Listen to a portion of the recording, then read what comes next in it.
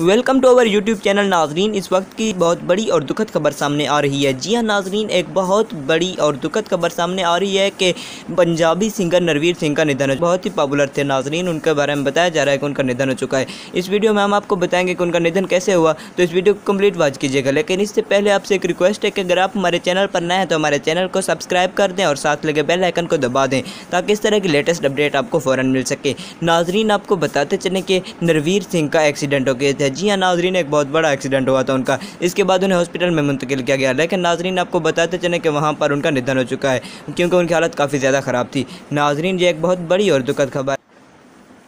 मिलते हैं अगली वीडियो में। तब तक दीजिए इजाज़त। Thanks for watching